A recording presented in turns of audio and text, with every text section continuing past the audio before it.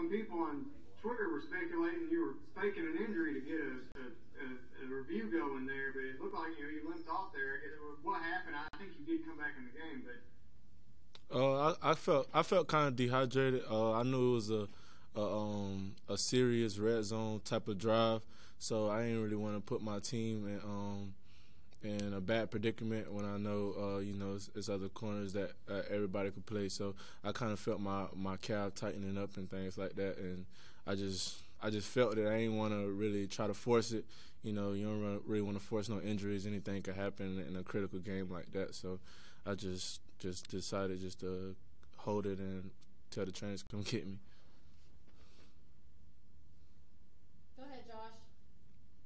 What's week? And the other guys have talked about you know, focus and, and kind of refocusing. But after you, you know, on one hand, you all are out there a lot and you kind of get worn down, but you still, you know, you only hold them, you hold them to 20 points. It's not like you necessarily were awful, but just how do you take what happened last week and turn it into, you know, a positive this week? Uh, for us, we just want to be a consistent defense because we always talk about being a number one defense in the SEC and the nation. So um, we don't really expect to really try to put all the pressure on the offense. So we want, we really want to make the offense um, job more easy. Uh, we just trying to be more consistent out there. We trying to be more focused uh, making sure we more dialed in. It's another critical East game we got to win. So, and hopefully this game could get us started going for a streak. Okay, Nick Roush. I don't think anybody expected y'all to keep getting five interceptions a game, but is, there anything you can do to, to start creating turnovers and helping the, the offense a little bit when they're struggling?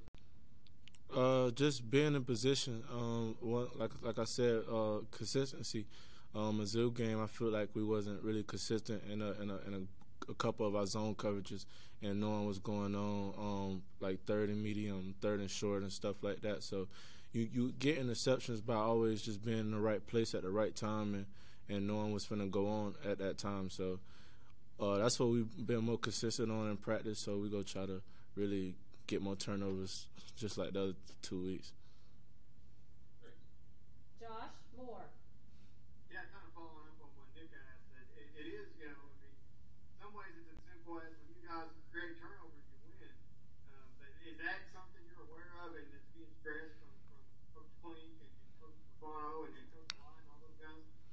Uh, uh, yeah, uh, we know us getting turnovers. You know that creates a, um, a wave on, on the game. You know it helps it helps our offense get better field position. You know us not getting off the field that don't that don't help the offense starting the ball off inside the twenty. So I mean that's hard for any offense in the SEC to be honest. And just creating turnovers, you know, it just it gets, gets your team hype, gets your defense hype, get everybody create confidence, and little do people know when a when a defense get a turnover, that also gives the offense confidence the next time they step on the field. Okay, anything else for Cedrick?